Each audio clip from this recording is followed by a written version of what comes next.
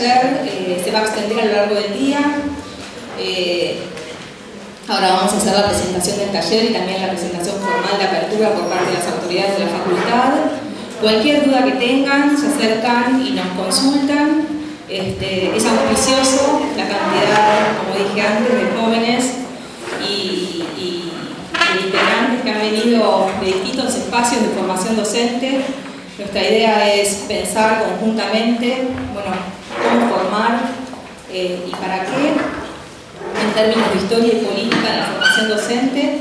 Así que, bueno, deseamos que sea una actividad este, productiva y de mucho intercambio y debate, así que damos formalmente la bienvenida.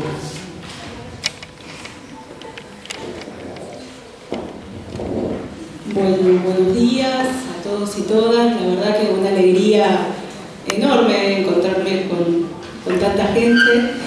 Eh, cuando me convocaron me imaginé un evento más chico, así que celebro celebro la convocatoria, la preocupación, el interés por esto y también celebro el encuentro entre estudiantes del, grado de Filo y estudiantes de institutos de formación docente. Eh, como secretaria académica, mi nombre es Sofía Tister, soy secretaria académica, pero también eh, profesora y graduada de, Ciencias de la Educación eh, y desde, desde este lugar institucional me gustaría compartir con ustedes algunas de las preocupaciones que la facultad eh, puso en su agenda en los últimos años y que está tratando de concretar a través de distintas actividades. Eh, no sé si todos saben, pero eh, junto con los institutos de formación docente, las facultades de la UBA y de otras, de otros, de otras universidades nacionales participan en la formación de profesores. Pero tal vez a diferencia de los institutos de formación docente, que tienen muy claro que lo que hacen es formar docentes, ese objetivo en las universidades se desdibuja un poco. ¿Por qué se desdibuja un poco? Por la matriz academicista, o la, matriz que ha puesto en el centro la idea de que estos centros de estudio forman investigadores eh, o profesionales que van a trabajar en ámbitos que no son las escuelas. Y esto se lleva mal con la realidad. Cuando nosotros vemos en qué trabajan nuestros graduados y de qué se reciben nuestros graduados, más del 50% de, cambia un poquito de carrera a carrera, optan primer término por el profesorado y en segundo término, y a veces y solamente a veces, por las licenciaturas. Entonces, la verdad es que es una batalla interna discutir la formación docente acá, eh, una batalla interna laboriosa, diría yo, eh, porque para nosotros profesorado y licenciatura tienen exactamente el mismo estatus. No hay una de primera y una de segunda, y lo digo brutal, diría yo, poniendo sobre la mesa las debilidades de la propia institución, sino que para nosotros cualquiera de las dos salidas son eh, igualmente dignas eh, y igualmente calificadas eh, y, objeto de preocupación. Esta discusión, que parece menor, requiere un montón de adaptaciones. Digamos, si uno va a la sala de profesores y le pregunta a cualquier docente de la casa, especialmente si es profesor y no auxiliar docente, de qué van a trabajar tus estudiantes, yo me imagino que muchos responderán y yo espero que sean investigadores del CONICET o de la universidad o, de la docencia universitaria, etc.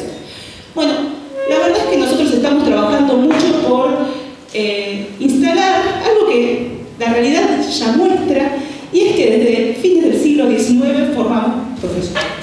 Profesores que van a trabajar mayormente en escuelas secundarias y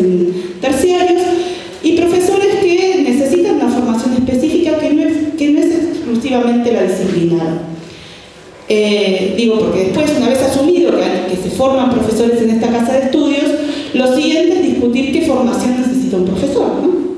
Y creo que hay algo de esto que ustedes van a discutir hoy, ¿no? ¿Qué formación necesita un profesor? Bueno, a veces la respuesta rápida, o no tan rápida, una muy buena formación disciplinar. Y nosotros queremos que nuestros profesores tengan una muy buena formación disciplinar. Pero creemos que exclusivamente una formación disciplinar muy sólida no garantiza, no, no es el perfil de profesor que a Filo le interesa poner sobre la mesa. Y en ese sentido venimos viendo y discutiendo mucho con los directores de las carreras, con los secretarios académicos, pero también con docentes de distintas cátedras, eh, bueno, ¿cuál es la formación que necesita un profesor? ¿Cómo se forma un profesor? Y, ahí aparecen estas discusiones, por eso celebro la convocatoria, la cantidad de gente, el interés. Eh, nosotros creemos que un profesor necesita mucho más que conocimiento disciplinar, didáctica general y didáctica específica. Creemos que un profesor requiere una formación histórico, política, filosófica, que se transita en las materias específicas que acá son del profesorado, pero que se transitan en toda la formación que cada uno de nosotros hace. No se forma, o partimos de la idea de que no se forma un profesor nada más cuando trabajamos sobre la planificación, sobre cómo enseñar tal contenido, sino que un profesor se forma en el recorrido integral de su carrera. Eh, Digo, son ideas para discutir, yo sé que en esta misma casa coexisten, creo que fui honesta, lo dije, coexisten distintas posiciones sobre esto, eh, pero creemos fuertemente que, eh, bueno, habrá que avanzar en discutir otras, otras maneras de pensarlo. Entonces, y que estas discusiones no son discusiones que solamente se tienen que dar muros adentro de filo. Nosotros sabemos que estas discusiones se replican en distintos lugares, en los institutos de formación docente, en otras universidades nacionales, que esta discusión está puesta sobre la mesa todo el tiempo y que se enriquece con los recorridos que hacemos en distintos lugares. Eh, también creemos que la educación superior es una sola, que habrá, se tramitará en distintos espacios institucionales, pero que no, no tiene sentido eh, profundizar las diferencias que históricamente se fueron construyendo, sino que por el contrario es más interesante debilitar los límites de los muros de cada una de nuestras instituciones y eh, profundizar o, mejorar la circulación entre ambos o entre estos distintos puntos. Entonces desde ese lugar celebro, les doy la bienvenida, me, hace muy feliz que estén aquí, eh, trataré de sumar a lo largo del día la mayor cantidad de cosas que se pueda y, nada, eh, augurarles una buena jornada de trabajo, que se sientan cómodos en filo y, esperar que este sea el primer hito de una serie de discusiones que, que vengamos sosteniendo a lo largo del tiempo. Así que bienvenidos y muchas gracias.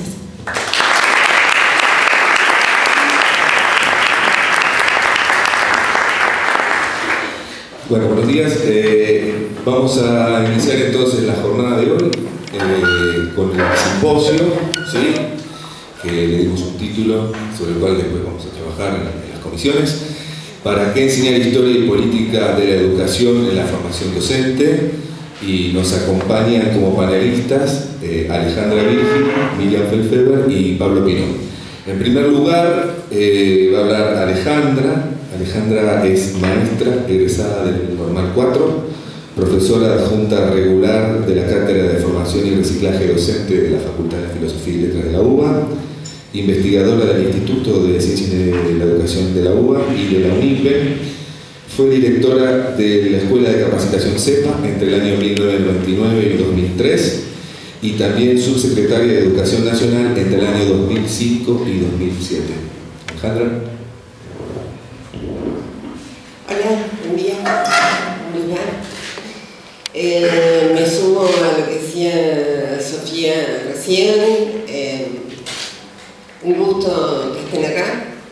Para los que trabajamos la formación docente en la carrera de Ciencia y Educación, que no es el conjunto de la facultad, que es lo que recién planteaba Sofía, este, eh, ojalá sea este efectivamente el primero de muchos intercambios. quiero sumarme especialmente a eso. Eh, entiendo que hay unos alumnos del hermano Patros, ¿sí? Bueno, así que eso me conmueve, de la costa también. Ah, yo digo él se formó en la costa, pero yo el cuatro. Así que, este, y de luna, ok. Este, no, está, está bueno, está bueno que, que Filo abra las puertas y esperamos además que sea mutuo, ¿no? Este, que nosotros también podamos circular eh, de otro modo, de conversar acá y allá. Este, son conversaciones importantes que nos debemos. Quiero decir, celebro también el tema de la convocatoria, ¿no? Está bien que Filo este, especialmente convoque a, discutir esto, es un nudo, para, uno podría pensar históricamente la formación alrededor de por qué, cuándo se incluye la historia y la política de la educación como parte de la formación. ¿En qué agenda se incluyen? ¿Cuándo sí están? ¿Cuándo no están? ¿Por qué están? ¿De qué manera? Que figuren este, historia y política no necesariamente abona las líneas, por lo menos que vamos a plantear seguramente a lo largo del día de hoy.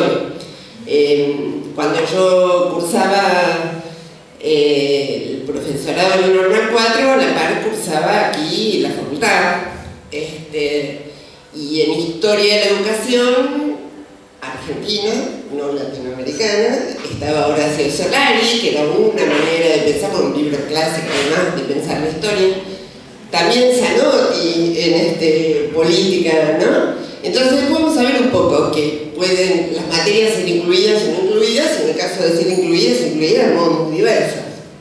Em, me parece que básicamente con cualquier materia, pero con estos dos temas que, traemos hoy, de lo que se habla es de qué disputa damos cuenta, de qué discusiones contemporáneas con el pasado, con cómo imaginamos el tiempo que va a venir, estamos dando cuenta cuando incluimos eh, estas materias.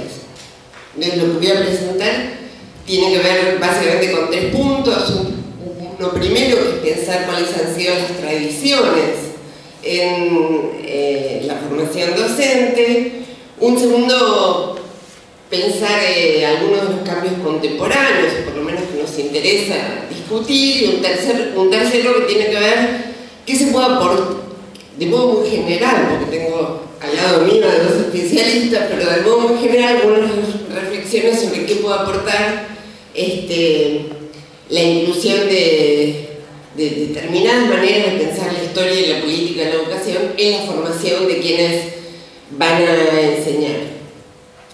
Tomando el primer punto, que es el punto de las tradiciones, es también homenaje, un homenaje a Cristina Davini, que fue eh, la titular de la cátedra de formación docente en esta carrera, que fue además mi profesora en el Normal 4 en planeamiento de la educación y en historia de la educación, este, y que sacó uno de sus primeros libros, que es un clásico, que es, se llama La formación docente, pedagogía y política.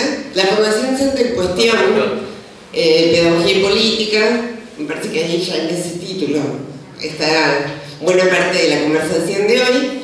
Eh, y ella allí trabaja las tradiciones, me gustaría muy sintéticamente este, plantear algo sobre eso y pensarlo más acá, porque ella aquello lo publica en los 90 y tiene que ver con su tesis que hizo en los 80, así que también está bueno atreverme a, a, pensarlo más contemporáneamente.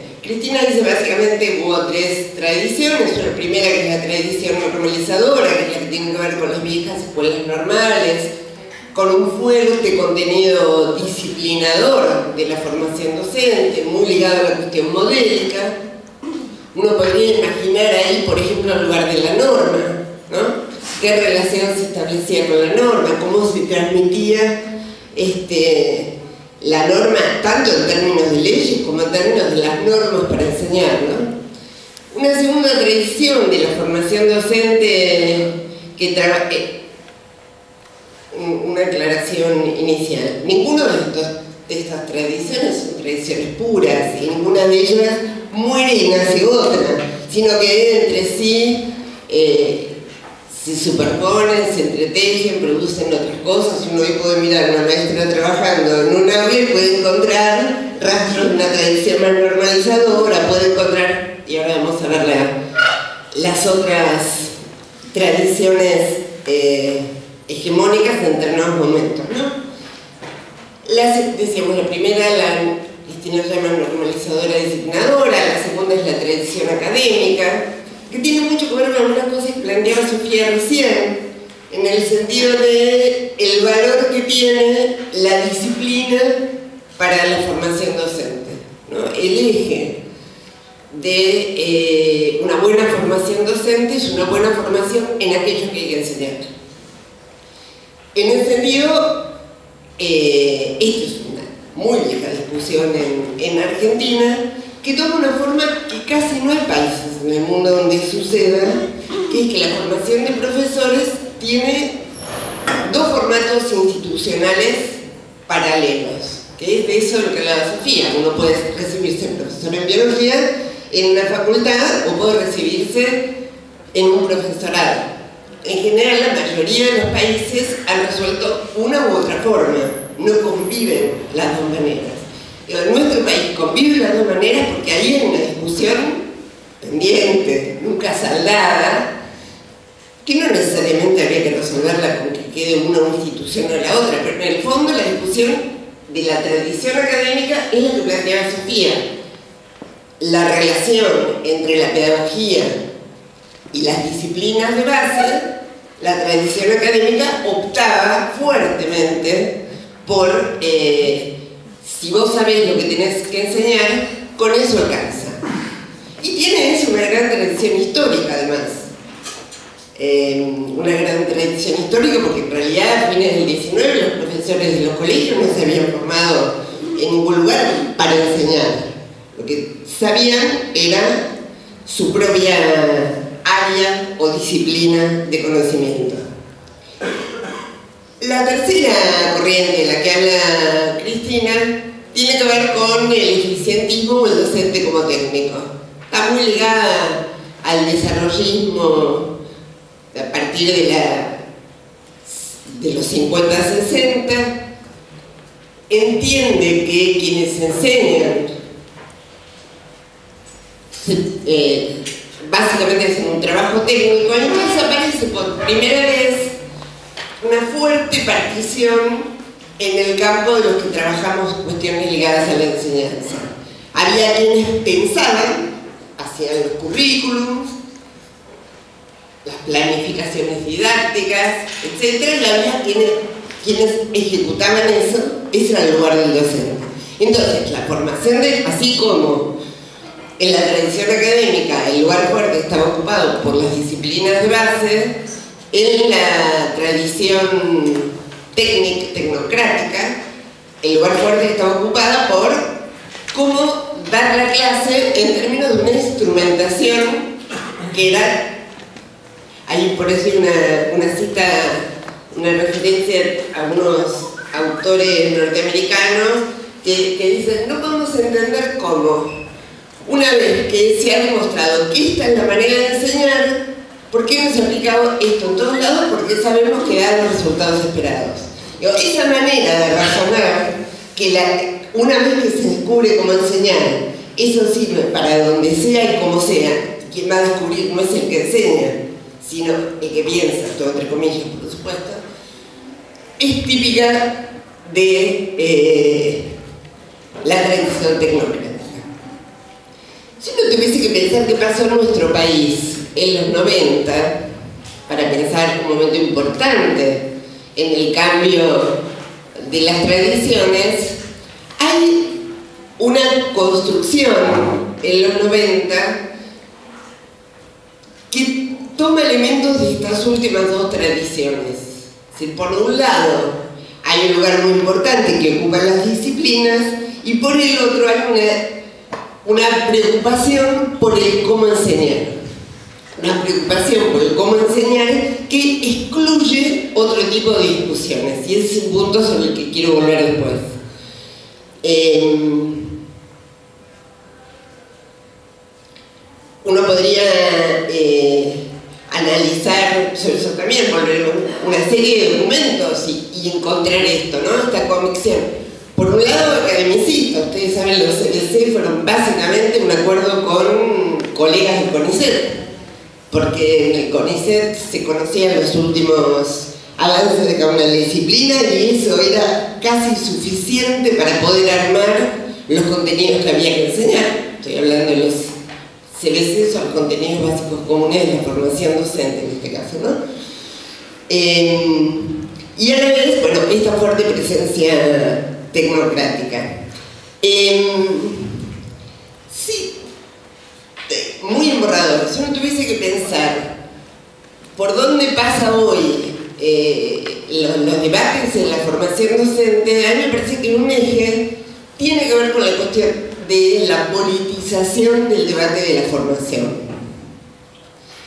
Y voy a tomar ahí un ejemplo, a ver si se entiende. Muchos de ustedes son muy jóvenes, pero algunos, en tanto ya docentes con experiencia, van a saber de qué les hablo. Los 90, ustedes saben que en los 90 se hizo una de las mayores inversiones en la Argentina en formación docente, inversión eh, de recursos, en créditos que se tomaron del Banco Mundial.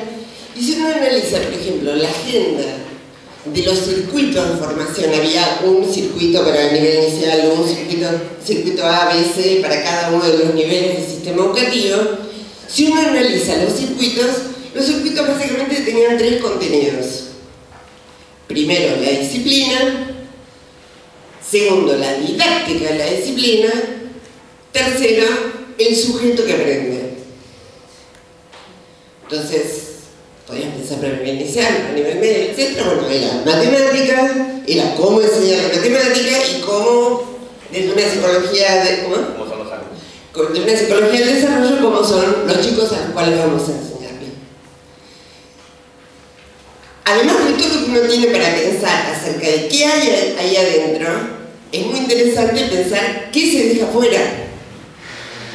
Porque pensar esa tradición es pensar, digo, ahí hay elementos tecnocráticos, hay elementos academicistas, pero lo que queda fuera es una discusión pedagógica, política, histórica, acerca de ¿Qué jerarquía de saberes estamos proponiendo? ¿Por qué proponemos una cosa y no proponemos otra? ¿Qué, más, qué, buscamos en la escuela con la habilitación de estos sujetos? Etcétera. Uno podría listar enormes preguntas. Obviamente, en los 90, momento absolutamente crítico en términos de crecimiento de la pobreza y el desempleo en la Argentina, ahí no entra ninguna pregunta sobre las coordenadas concretas en las que las escuelas están trabajando. Podríamos contraponer eso con la agenda de nuestra escuela. Nuestra escuela es hoy la propuesta del Info que hace para la formación de todos los docentes del país. Em, allí hay como contenido de buena parte de las propuestas que hace el mismo Info debates de política de historia educativa argentina y latinoamericana. Y esa presencia hace, también a ver, esa presencia hace una gran diferencia. Por supuesto que la diferencia también está en qué contenidos se seleccionan de biología y de literatura. ¿eh? No quisiera decir que en lugar de la politización del debate es sumar o quitar una unidad hay algo de si lo que vas a transmitir es eh, la literatura de ayuda o los clásicos ingleses o lo vas a poner junto con literatura latinoamericana, implica una decisión política. Pero en cualquiera de los casos y en términos de explicitación, me parece que este tiempo, ya desde hace, desde el comienzo del 2000, incluye temáticas que explícitamente en periodos anteriores fueron este, excluidos. Allí vuelvo, quisiera insistir con dos cosas. La primera es, nunca se trata de tipos puros, uno puede analizar algunas, algunas de las propuestas de los circuitos de los 90 y encontrar una historización de los contenidos a transmitir, y uno puede analizar un montón de propuestas también de nuestra escuela y encontrar otras orientaciones. Los tipos puros son solo una simplificación para conversar aquí. Este, eh, iba a decir una segunda cosa que me olvidé, bueno, ya volví. Em, me parece que si actualmente en, las propuestas del Estado, las propuestas institucionales, en, las distintas este, alternativas que uno eh, observa en la formación, hay una presencia sobre preguntas más generales. Hay una relación entre los derechos y qué trabajamos en matemática. Lo que trabajamos en matemática no es autónomo de pensar que todos los chicos tienen derecho a una escuela secundaria. En ese sentido es una politización del debate escolar. Eh, eso no quiere decir, a ver, eso tiene que ver además con la posibilidad de construir otras visibilidades, ¿no? De poner en cuestión determinadas cuestiones, hacer visibles nuevos problemas, poder discutir sobre ellos. Y me parece que básicamente eso plantea otra relación con lo contemporáneo. A mí me gusta mucho un, un trabajo de, de Agamben, un trabajo muy cortito que está online para que le interese, se llama ¿Qué es lo contemporáneo? Y Agamben dice Pertenece a su tiempo aquel que no coincide perfectamente con él. ¿no? Eh, que no se adapta a sus pretensiones. ¿Cómo trabaja el análisis del diseño vigente con preguntas históricas, como ha sido, como soy, como puede ser, y con preguntas políticas acerca de por qué está esto y no hay otra cosa? ¿Qué significaría cargar la mochila con otra literatura para poder este, enseñar diferente? Me parece que hay algo de politizar el debate que tiene que acercarse mucho más a los interrogantes concretos de este tiempo, que básicamente, me parece, se arman alrededor de la cuestión de los derechos, de los derechos que tienen todos los chicos y todas las chicas hoy hasta la educación superior. Para que eso sea un derecho efectivo, sea el derecho a la cultura, sea el derecho a los saberes, a lo que hay, a los que cada uno tiene y cada colectivo tiene derecho a producir, hay mucho para hacer en la formación docente. Y no tengo duda que tanto la historia como la política de la educación, por el conjunto de lo que transmitimos en la formación es imprescindible para que ese otro tiempo sea posible. Gracias.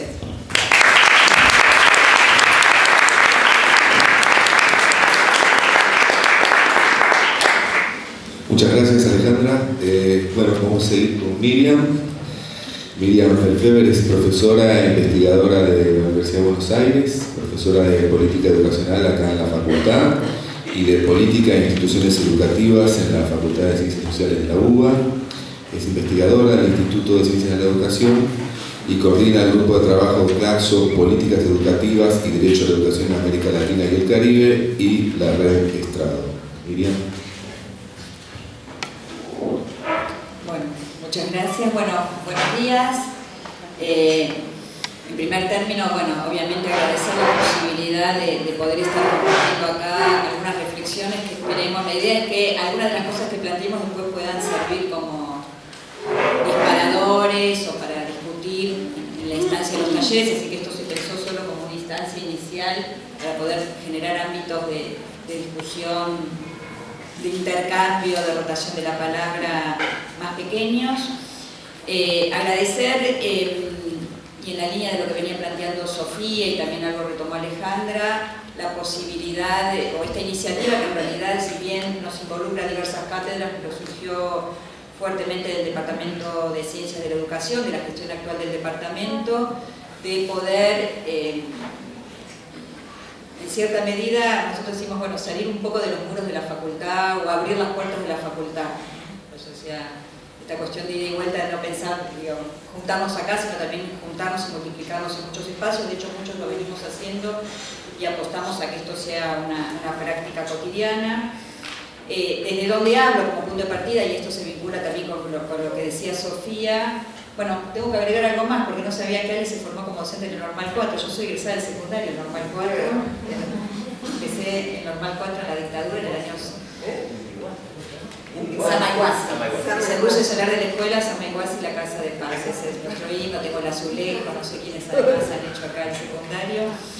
Eh, así que hice mi secundario en el Normal 4. No elegí en ese momento el bachillerato con orientación pedagógica porque no me iba a quedar nada más en séptima y lo veía como una pérdida de tiempo, que sabía que me iba a dedicar a la educación, pero una pérdida de tiempo porque en plena dictadura militar eh, las cosas que estudiábamos no tenían mucho que ver con nuestros intereses, eh, sobre todo en la Escuela Normal 4, donde realmente sufrió la desaparición, no, solamente el autoritarismo, ¿no? sino la desaparición de muchas compañeras que simplemente dejaban de venir. Y dejaban de venir y dejaban de venir, no existía el hecho de que desaparecieron, etc. Y nadie podía hablar o preguntar. Me trajo tantos recuerdos, bajábamos y cantábamos la aurora, ¿no?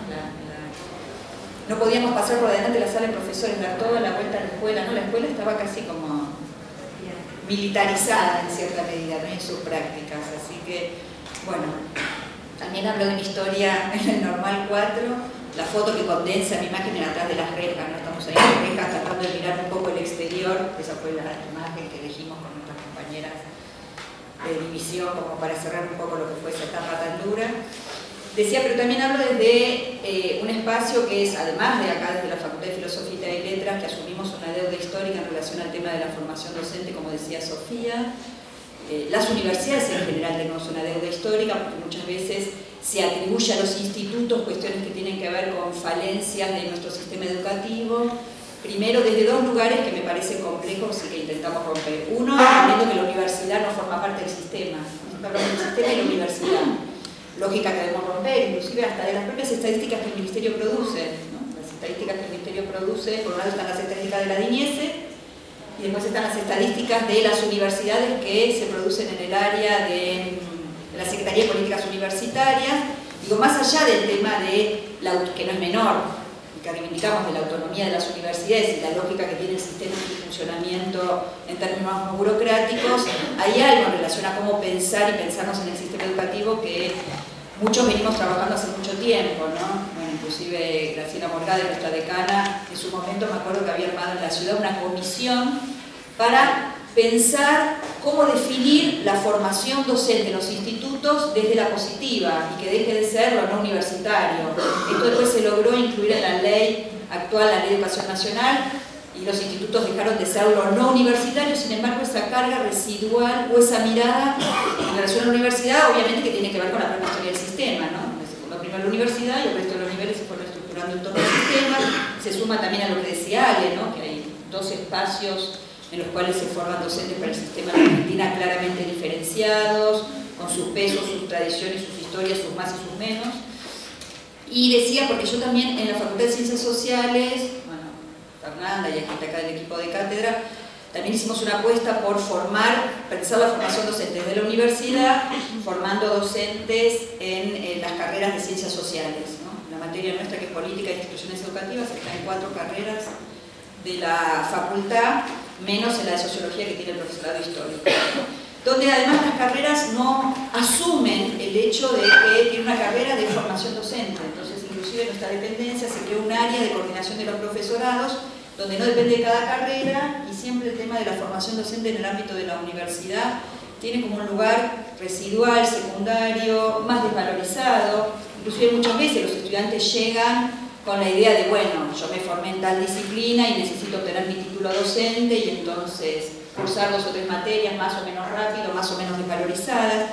Nosotros desde el ámbito de la educación muchas veces también construimos esa imagen, digo, no es una imagen que se construye desde múltiples perspectivas, desde la forma en que se piensan algunas de las materias, la historia de una de las didácticas, bueno, con muchas dificultades, en el caso acá sí de filosofía y letras, pero también en sociales, y creo que este es un punto sobre el cual queremos trabajar y en este sentido la apuesta de este espacio tiene que ver con poder romper con eso y también poder integrarnos nosotros hablamos de los problemas que tienen muchas veces la, formación en los institutos, no hablamos del problema que tenemos nosotros en la formación de licenciados y profesores en la facultad, donde también cada cátedra es un compartimento estanco. Entonces, en este sentido, también es una apuesta a integrar los espacios de historia y política en la formación en nuestra carrera, que también cada cátedra, en nombre de esta autonomía que seguimos reivindicando, etcétera, pero muchas veces nos cuesta articular nuestro trabajo. Y también quiero señalar que trabajar en el campo de la política educacional tuvo que ver con, la posibilidad de trabajar en, un campo que, me gusta trabajar en eso, que tuve la posibilidad cuando me recibí, a partir de haber cursado política con Norma y Bravo, que fueron mis maestros en ese área y haber empezado a formarme en investigación con Emilio desde la sociología de la educación, digo esto porque también tiene que ver con la mirada más intermulti, ¿eh? Ah, Emilio Tenti, perdón. ¿Qué dije? Norma, Norma Pavigliani, Héctor Félix Urabo y Emilio Tenti, perdón. Uno habla con cierta familiaridad. Eh, y me parece que esto, digo, en el escenario actual, para muchos de nosotros perdemos la perspectiva que es una ventaja, ¿no? que estamos acá en un ámbito de educación superior, que hemos logrado estar en la educación superior, que no todos lo logran hacer, ya sea en los institutos, ya sea en las universidades, somos privilegiados. Si miramos en el sistema educativo los datos estadísticos, somos de, un porcentaje privilegiado frente a lo que sucede al conjunto de la población. Si bien hoy la educación superior es un derecho y eso es un tema central, no menor, implica que es un derecho, implica que tenemos que garantizar una buena formación en las universidades y en los institutos para todos, no es una obligación, no todos tienen que estar adentro, pero sí es un derecho, es decir, que todos los que quieren estar adentro tienen derecho a estar adentro.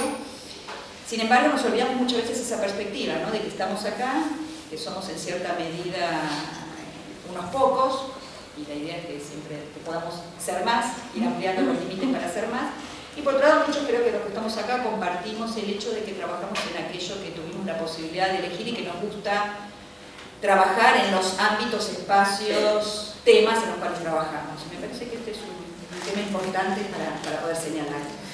Y ahí me interesa entonces plantear algunas reflexiones en torno a lo que era la pregunta del panel, que era el para qué, enseñar política e historia en la formación docente. Ahí pusimos política de la educación, en realidad para nosotros es toda una discusión, porque hablamos de política educacional, para diferenciarla de las políticas educativas, referenciando más lo que es el campo de estudio y de la investigación, y lo que son las políticas, las medidas que día a día toman impulsan gobiernos o diferentes actores para orientar los sistemas. ¿no? Por ahí en inglés es más claro porque está la distinción entre los términos policy y politics, que no existen en, en nuestro lenguaje, por eso la distinción entre políticas educativas y política educacional. Uno referida más al campo de estudio y otro más a las medidas concretas, al estado de movimiento, al estado en acción en interacción con otros actores. ¿no? Me parece que este es un punto central. Entonces, compartir algunas reflexiones de para qué y después algunas cuestiones que tienen que ver con lo que reconocemos como obstáculos epistemológicos, algunas dificultades a la hora de enseñar e investigar, producir conocimiento en el campo de la política educacional. Con respecto al primer, a la primera cuestión, ¿no? el para qué, ¿no? el, pensar el para qué historia y política, ¿no? y bueno, veníamos hablando también esto con Pablo, con toda la gente de historia, de política, ustedes saben que esto de poner historia y política, la educación junto en la formación docente, bueno, también es todo un tema, un debate, porque ahí discutimos, muchas veces decíamos, bueno, en general la historia se le deja lo antiguo, lo viejo y la política se tiene que ocupar de lo actual o otro corte que se hace, bueno, ¿qué es la historia? ¿Hace la historia de las políticas educativas o la política educacional enfoca el sistema educativo en perspectiva histórica, las políticas en términos históricos, ¿no? Entonces, historia de las políticas, políticas en perspectiva histórica, ¿no? Y ahí venimos discutiendo y trabajando cómo poder enfocar esta cuestión. Que de hecho está, está junta y está separada, ¿no? Estaba releyendo el diseño curricular para la formación docente del Infod, los lineamientos curriculares, y ahí, si bien dice historia y política de educación argentina, después lo diferencia, habla de la perspectiva histórica y la perspectiva política. Creo que es todo un tema. La primera cuestión que me parece que hay que señalar, y creo que es, creo que es casi como una obviedad, por más que sea una obviedad hay que decirlo igual, obviamente que educar constituye un acto político, obviamente que todos los que estamos acá creo que compartimos el hecho de que la enseñanza es un acto fundamentalmente político, básicamente político, y en este sentido el educar, considerar educar como acto político nos posiciona a nosotros como sujetos políticos. Cuando estamos pensando el tema de la formación docente, es central en qué lugar nos paramos nosotros como formadores, como quienes nos estamos formando para ser docentes y cómo encaramos todo este proceso desde este lugar que nos reconocemos como sujetos políticos. Este no es un tema menor, dado que todo lo que, digo, digo Ale recorrió muy bien en poco tiempo, pero no, este recorrido de lo que han sido los modelos en la formación docente, cuál ha sido todo el impacto de las políticas tecnocráticas eh, desde la década de los 70 en adelante, esta decisión entre los que, tecnócratas, los que deciden, los que arman los diseños, los planes, los que escriben los libros de texto, los que dan los cursos de capacitación y los docentes. Este lugar complejo donde se ha colocado la docencia como el espacio de transmisión de los saberes que otros producen, que acá hay todo otro tema para discutir, también lo vamos a discutir en el campo de la política, ¿no? ese saber que producen los especialistas en política, los politicólogos o los cientistas sociales qué sentido tiene en el ámbito de la formación, pero esta decisión entre quienes definen y quienes transmiten o quienes transmitimos ha sido muy fuerte y creo que la única forma de empezar a romper con esta lógica tecnocrática o con este lugar donde después de los 90 nos colocó a los docentes como objetos de la política, objetos que debíamos ser reciclados, reformados, eh, bueno, nuestra, la materia acá a cargo de él se sigue llamando formación y reciclaje docente. No, porque no quisimos cambiarlo, pero bueno, se supone que el nuevo plan de estudios ya en curso esto va a dejar de ser así, ¿no? que es esta idea de que docente se lo recicla. ¿no? recicla una casa vieja, recicla, puede reciclar un coche, puede reciclar una ropa, pero no, ¿eh? se recicla la basura, bueno, no parece que suena fuerte. Pero que es eso de reciclar un docente. Pero sí es interesante cómo por un lado se instaló con fuerza el discurso tecnocrático, donde el docente fue este objeto de la política, después pasamos a ser sujetos destinatarios de la política, de la política que definen otros más o menos democráticamente, pero nunca colocarnos en ese lugar de sujetos políticos, que también construimos política pública en nuestras aulas, pero que también tenemos derecho a participar en la definición de la política pública. Y creo que pensar el lugar no, no porque lo piense que esto sea un tema de la asignatura política educacional, pero creo que las reflexiones en torno a las funciones de las políticas educativas y cómo nos posicionamos en relación a esos debates nos permite resituar el tema de la formación docente en la educación como acto político y nosotros como sujetos políticos, que construimos, producimos conocimiento en el aula, tal vez es un conocimiento diferente al que producen los científicos o los especialistas de las disciplinas, pero producimos conocimiento cotidianamente en los espacios de formación, en los institutos de formación y después los docentes en las aulas de los diferentes. La segunda cuestión que me parece que es central y que tiene que ver con el tema de por qué... Perdón, destiné mucho tiempo a la introducción, bueno, voy rápido con, con los puntos. Que es, eh, y bueno, comprendo la ventaja de que vamos a estar en los talleres, ahí pido la palabra y digo todo lo que no, lo que no puedo decir. Eh, ¿Qué es la idea de, me parece, de conocer para transformar? El desnaturalizar el orden social.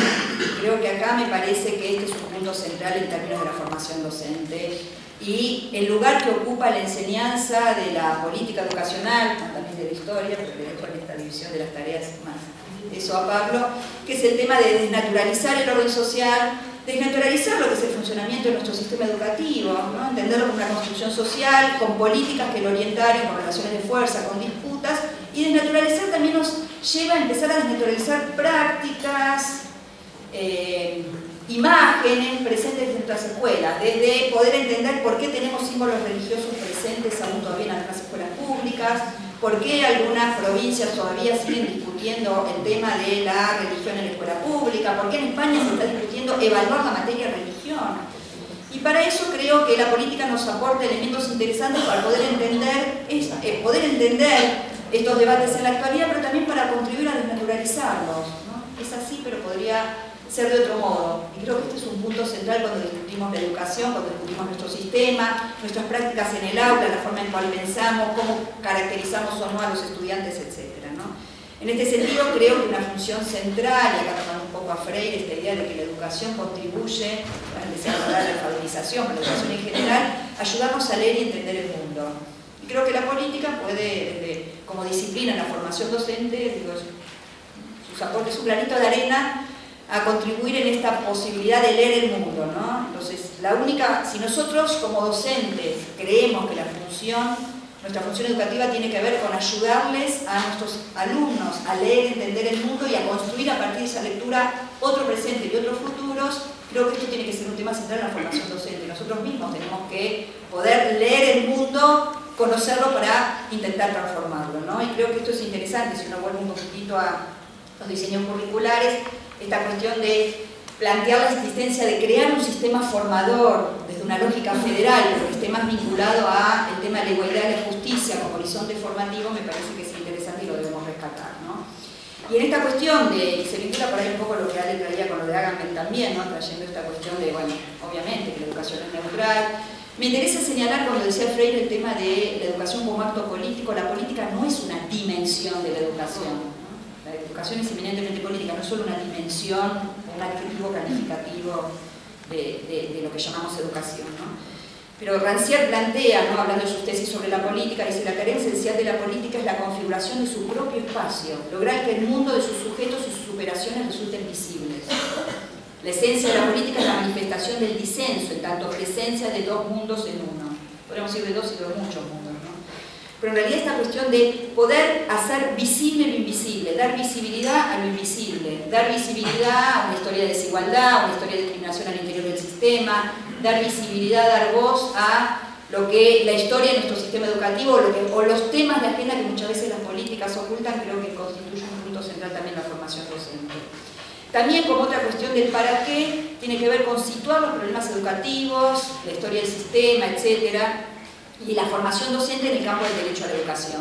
Algo también de esto trajo Ale que me parece central, que es que la mirada de la política educacional está muy vinculado al tema del rol del Estado y la perspectiva del derecho. Y creo que en este sentido, ojo, no porque crea que vamos a enseñar los derechos en la materia política, educativa, historia en política, estudiamos sobre los derechos y los derechos hay que hacerlos, pero poder darle visibilidad a estas cuestiones creo que constituye un tema central en la formación. Ya dije algo de romper con la lógica tecnocrática y de poder pensar el campo en términos más relacionales. Simplemente los voy a enumerar porque no tengo tiempo ya de desarrollarlos porque el tiempo se está agotando algunos de los obstáculos epistemológicos en la enseñanza de la política educacional, tanto en la enseñanza como en la producción de conocimiento. ¿no? Yo creo que acá, obviamente que no es lo mismo dedicarse a investigar en política educacional y no creemos que todos quienes se están formando para ser docentes van a ser investigadores en el campo. Entonces la enseñanza de la disciplina o la política educacional en la formación docente tiene que pensarse en formamos investigadores en el campo, pero sí me parece que es importante incluir cuestiones que hacen a la producción de conocimiento, tanto en la enseñanza, pero también entenderla desde la investigación para poder introducirla como forma de pensar el trabajo en los espacios de formación. Una, la primera cuestión obviamente que tiene que ver con la mirada sobre el Estado, los otros agentes en la orientación del sistema, que implica centrarnos en la mirada del Estado y como alerta epistemológico, como bien nos enseñaba Pierre Bourdieu, el hecho de ya pensar el Estado implica pensarnos como sujetos que fuimos formados por ese Estado que queremos analizar y pensar. Entonces, en tanto sujetos estatizados, que fuimos formados en el Estado, en un sistema, ¿no? Eh, en la propia escuela pública, en los institutos, en las universidades, etcétera, las dificultades de pensar un objeto que a su vez nos constituye. ¿no? Cómo pensar el Estado o pensarlo, y también si quiere complejizarlo más, ¿no? si lo pensamos en términos más gramscianos, como estudiamos mucho con Norma en nuestros inicios de la formación y lo miro ahí a Pablo ahí sentado, si pensamos al Estado en términos, ¿no? Como sociedad civil, sociedad política, el Estado ampliado de Gramsci se complejiza aún más aún. Una cuestión, una segunda cuestión, simplemente las enumero, no tengo tiempo de desarrollarlas, es el cambio de las herramientas conceptuales con las cuales pensar la realidad hoy en Latinoamérica. Y que creo que esto es un punto de partida central, ¿no? Cómo pensar la formación docente, sus... Eh, cómo pensar la formación docente, cómo pensar eh, cómo pensarnos como docentes, cómo pensar la mirada sobre las políticas educativas desde una perspectiva latinoamericana. Y creo que este es un punto ¿no? Hoy la apuesta a la construcción de un movimiento pedagógico latinoamericano, digo, digo, de muchos espacios estamos apostando a que nuestra mirada sobre la política educativa, sobre el Estado, sobre los sistemas educativos no sea solamente la mirada eurocéntrica. Esto no implica que dejemos de mirar otras realidades, pero también empecemos a mirar las nuestras.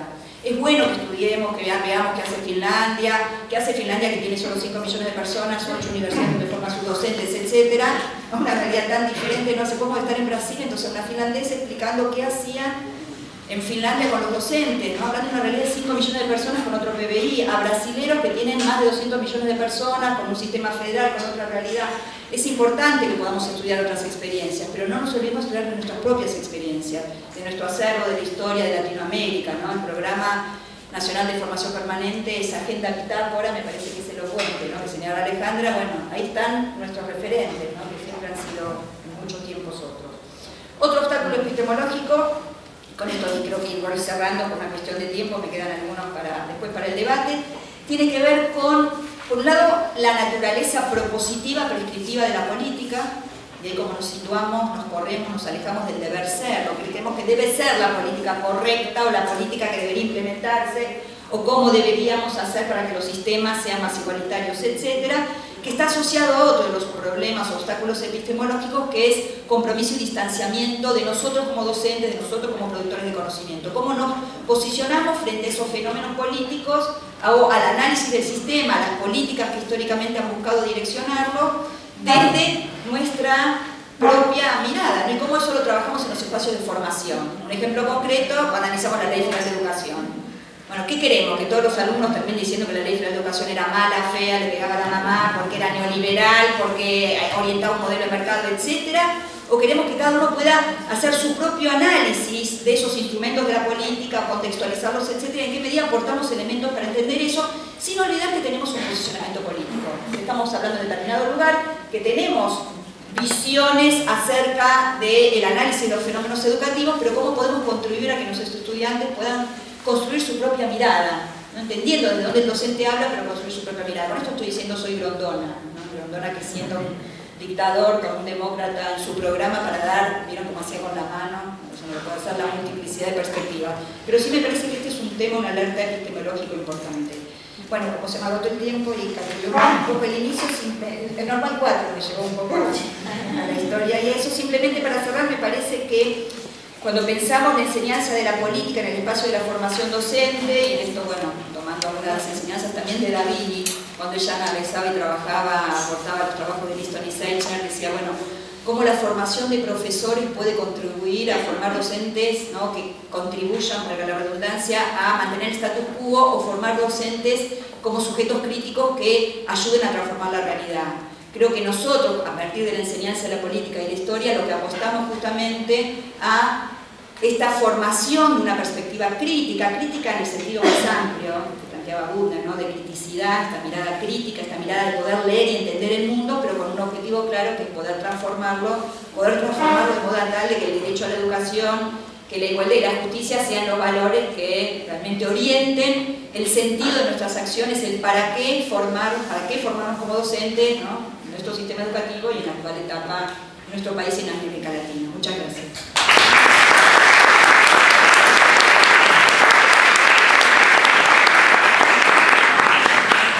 Gracias, Miriam. No, está bueno sumar la dimensión sensible, ¿no? Digo, estamos en la facultad que tiene fama de torre de marfil, ponerle sentimiento, juega la pasada con el tiempo, aunque marca, pero gracias. Eh, Pablo Pino eh, va a cerrar el simposio. Pablo es director del Departamento de Educación de acá de la facultad, es profesor titular de Historia de la Educación Argentina y Latinoamericana y profesor eh, de la Escuela Normal Superior Mariano Costa. Pablo. Bueno, hola a todos y todas, bueno saludar, bienvenidos, bienvenidas. Eh, antes de hablar de lo que quiero explicar, un par de cositas. Como director del departamento inaugurado en la organización de este evento. Primero, la alegría que estén todos ustedes acá. No sabíamos cuándo se van a hacer, está bueno que no alcancen las sillas y yo hace un rato estaba en la desesperación de qué hacemos, a qué alegría ver gente buscando sillas por todos lados. Esto les agradezco que estén, está buenísimo que ya están todos estudiantes de terciario. Y además quiero especialmente, además que los jóvenes, asombrados y estamos contentos, quiero recibir especialmente a los colegas, colegas, colegas, los profesores de Historia y Política de Educación de Institutos, hay gente que vino de Mendoza, hay gente que vino de Santa Fe, de Tucumán, y me levanto la vista y me encontré con mucha gente de los que uno fue conociendo en el recorrido, un montón de caras conocidas, y me pone muy contento. Y tiene que ver con este tipo de actividades que empezamos con historia política, pero la idea es que el departamento siga siendo de volver a pensar el problema de la formación docente. Eh, ¿Qué quiero plantear con esto? Esta idea donde, bueno, ¿por qué, hacemos, ¿por qué la universidad hace investigación? Eh, Alejandra y Miriam hablaban muy fuertemente de la idea de los dos, eh, los sistemas paralelos de formación docente. Yo también creo que estoy de acuerdo, pero también que, se ordenan jerárquicamente, digamos, no solo son paralelos, sino que hay ciertas jerarquías, se supone que probablemente en la universidad se forme mejor, un cierto reconocimiento social cuestionable en institutos, esto también marcó una lógica de vinculación entre institutos y universidad, muy fortalecido por la concepción de la capacitación en la idea de la cosa reparatoria. En algún lado la universidad cada tanto tiene que ir a decirle a los institutos, guarda que se equivocaron de nuevo, van mal, acá está el saber y volver a repartirlo. Y este, esta actividad quiere otra cosa, quiere plantear un vínculo mucho más paralelo. Por eso este panel es simplemente las primeras preguntas, eh, no son cosas cerradas y queremos privilegiar los talleres. Sabemos que en realidad en la práctica tanta distancia no hay. Muchos egresados de aquí están allá, muchos de allá están aquí. Digamos, en realidad cuando uno empieza a ir a la cotidianidad la cosa se, se, pone mucho más rica y la idea es discutir conjuntamente para qué, por qué, cómo enseñamos historia y política de la educación en la formación docente, eh, pensando que se hace muy bien y que no es que la universidad tiene que decirlo, de hecho yo sigo trabajando en terciario, pero no es casual que todos acá en algún lado recuperaron y se emocionaron recuperando su origen terciario, su origen de escuela normal. Este, me parece que tiene que ver con cierto interés en romper esta barrera y seguir avanzando. Yo voy a entrar también por otro lado, eh, quiero recuperar bien fuertemente la cuestión del panel, tiene que ver qué es esto de la historia y la política de educación en la formación docente. Y quiero entrar recuperando un debate eh, que se dio en Francia acá pegó, pegó poco, pero me parece muy importante, que es el debate sobre la cultura escolar. Muy en la década del 80, los 90, eh, probablemente que es el debate que hubo entre Yves Ballard, aquí, aquí en Argentina sí llegó muchísimo, en los 80 y 90 la categoría todo docente sabe que existe la transposición didáctica y cree en la transposición didáctica. Que los docentes creemos en los saberes socialmente válidos, creemos en la construcción del conocimiento y creemos en la transposición didáctica, que planteaba esta idea ¿no? del vínculo entre el saber académico y el saber escolar en la idea, no conocen de la transposición, digamos, cómo en algún lado los saberes que entran a la escuela son modificados, cambiados, reformados por el saber académico. Contra las comisiones de eh, Yves se eh, cuestiona Andrés Cervera, quien ya no se conoce tanto en Argentina, de hecho hay poco traducido, él habla de la cultura escolar, donde Cervera lo que plantea es que en realidad, contra la idea de Chevalar. Ahora voy a llegar a la historia de la política, ¿eh? pero creo realmente importante entrar por acá por el debate que quiero. Eh, la cultura que enseña la escuela no es la parte de cultura que la escuela decide recordar para enseñar. Esta sería la definición de la revolución didáctica. De todos los saberes que hay, ¿sí? se produce una adecuación que se llama revolución didáctica que los vuelve saberes escolares para plantear casi exactamente lo contrario. La cultura escolar son aquellos saberes que solamente se enseñan en la escuela. Se recupera la capacidad productiva de saber de la escuela. No es que la escuela adapta saberes producidos en otro lado, sino que produce saberes. Eh, la cultura escolar sería esto, y él recupera, por ejemplo, y piensa más en la clave de escuela primaria, con la idea de, bueno, ¿cuál sería el, el saber que se transpuso para enseñar a leer y escribir? No, la escuela de escribir transmite un montón de saberes que no tienen un referente académico claro, identificable, como Sherwell que viene la matemática. ¿sí? leer y escribir, bueno, también la lingüística, pero él dice, bueno, porque tiene que ver con recuperar la idea de que la cultura escolar tiene que ver con saberes vinculados al hacer. Tal vez esto lo sepan, ¿no? ¿Por qué hay escuelas primarias? ¿Por qué hay escuelas normales? ¿Por qué hay escuelas técnicas? ¿Por qué hay escuelas de comercio? Y hay colegios, universidades, colegios. ¿Cuál es la diferencia? La categoría escuela, en el origen, tiene que ver con la transmisión de saberes aplicables.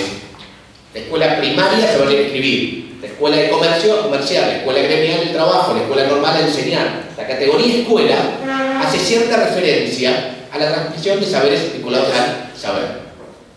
¿Qué tiene que ver con esto, con esta idea de esta crítica de Gervais a, eh, a, Yo creo que hay mucho debate, lleva la más de escuela secundaria, la instrucción didáctica explica fenómenos más de formación de escuela media, la categoría de Gerber más de escuela primaria, tiene más con el hacer, hay muchos debates. Pero sí creo que tiene que ver con cuál es el vínculo que habría entre el saber académico y el saber escolar. Y habría dos posiciones. Uno que dice, bueno, en realidad el saber escolar es una modificación, adaptación, degradación, lubricación, que es el del saber académico. O al revés, como decir, bueno, en realidad el verdadero saber es el saber de la, escuela. Lo saca la torre del marfil. ¿no? Esta es mi idea, bueno, ¿cuál es el saber verdadero?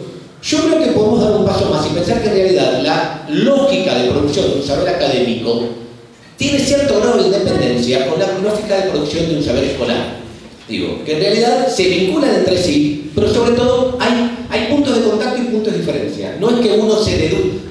La pregunta no es tanto cuál es la relación de causa-efecto que tienen entre ambos, sino los puntos de contacto y diferencia.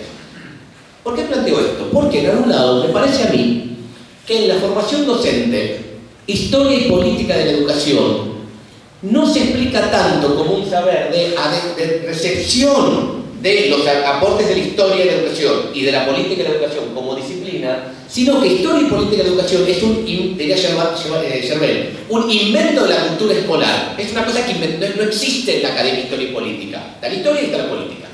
Así es, que historia y política van juntos, que conforman un único núcleo, que tienen unidad, es un invento de la cultura escolar. Es como, si quieren, perdón, me voy a la historia, la idea de historia moderna y contemporánea. No existe, la escuela inventó que historia moderna y contemporánea van juntas para enseñar en el segundo año. Hay un efecto, de, no, existe en el, no existe en el sentido epistemológico y no tiene por qué existir. Historia y política de la educación, me parece a mí que se constituye como el espacio eh, de formación escolar que tiene que ver con lo que une historia y política, la producción eh, pura insisto, no tiene que ver con las disciplinas, sino con lo que pasa en la escuela, con la enseñanza de qué pasó con la educación a lo largo del tiempo. Vamos a ver que en la práctica, la parte histórica para hablar del pasado, la parte de política para ver el presente, pero tiene que ver, bueno, cuál es el lugar, si levanto la cuestión que plantea el, el panel, cuál es el lugar que el relato sobre el tiempo tiene que tener en la formación docente. ¿Sí? Con esta idea de, es verdad que tiene distintas eh, tradiciones distintas, como decíamos que Miriam, la historia de la educación tiene una tradición epistemológica muy fuerte, la política de educación también, ¿no? Este, probablemente yo creo, y acá también tenemos con Miriam, la política tuvo realmente un auge específico, la política educativa, no la política educacional, gracias Miriam, eh, en la década del 80, ¿no? con todo el aporte de las ciencias políticas, la llegada argentina de los saberes producidos por las ciencias políticas, que en algún lado hasta la década del 80, en la Argentina era un saber más subordinado a sociología o demás, pero ahí creo que el, fortalecimiento de las ciencias políticas hizo que la política educacional tuviera un realmente importante, las problemáticas del Estado, del poder, etcétera, entraron ahí. Pero creo que lo que hace historia y política en la educación tiene que ver con la pregunta, en la formación docente, con cuál es el relato sobre el tiempo, sobre la educación en el tiempo, con el que formamos a los futuros docentes. Hay que hacer un lugar común, todo el mundo dice que es muy importante, que la historia es muy importante, que hay que saber historia y política también, pero un poco más de historia, porque siempre la primera clase, la primera unidad tiene que ver con la historia, que después se abandona. Eh, me voy a poner un poquito más como historiador de la educación. Anne-Marie Chermel, eh, Anne-Marie Chartier, Francia, se pregunta muy interesantemente ¿Cómo es esto de que todo el mundo diga que la historia es muy importante, pero cuando hay debates educativos no se convocan historiadores de la educación? como es la idea de que supuestamente no se puede entender nada sin la historia, pero no hay una cierta convocatoria específica a este saber para resolver los problemas. Y me parece que entonces, en esta idea, y para recuperar la, para tirar puntas para el taller, no sé, ¿tengo bien el tiempo o...? Cinco minutos tengo, entonces no va a alcanzar. Eh, ¿Cuáles serían lo que yo podría llamar los abordajes, los relatos, las formas en las cuales uno puede ver que entra la historia y la política en, tanto en cuanto saber escolar, ¿sí? en la formación docente. Yo encontré una serie de, los llamé los abordajes, ¿no? uno puede ver que cada vez queda menos, pero lo que yo llamaría un abordaje descriptivista, una supuesta historia objetiva, una historia oficial, el libro de Solari, sigue estando, una idea de que bueno, yo describo lo que pasó en el mejor de los casos, que decía Miriam, doy las dos campanas, ¿no? una idea de, con muy peso en lo legal, una idea de una muchas veces una historia y política de educación armada en función del relato de las leyes. De hecho, si uno hace un poco de historia, generalmente estaba historia de la educación e historia de educación muy asociada a la teoría, para un poquito más a esto, y la materia política, política y legislación educativa, o sea, una subordinación de la problemática política a la problema de las leyes, un abordaje descriptivo, describimos lo que pasó y muy tradicionalmente confiamos que, bueno, que la ley es el, documento más objetivo, entonces enseñamos las leyes, ¿no? con que los pibes lean la ley 1420, alguna ley de educación más, la ley federal, y si llegamos la ley de educación nacional, estamos bien, ya está, lo mínimo está, hemos visto una mirada de. Otro muy vinculado tiene que ver con abordaje evolutivo, ¿no? pensar la educación como una cosa evolutiva, Esto estuvo muy vinculado también con la producción en toda la historia de la educación. Ustedes piensen que la historia de la educación, paradójicamente, tiene un origen similar al de la historia del movimiento obrero, en el sentido de que las primeras versiones las escriben los protagonistas. ¿Sí? Las primeras historias de la educación le escriben funcionarios del sistema. No va a pasar mucho tiempo hasta que alguien de fuera diga voy a mirar. Como el movimiento obrero. Las primeras historias del movimiento obrero nos las dejaron los, eh, los militantes. Tuvo que pasar mucho tiempo para que acá entrara che, un académico mirándola.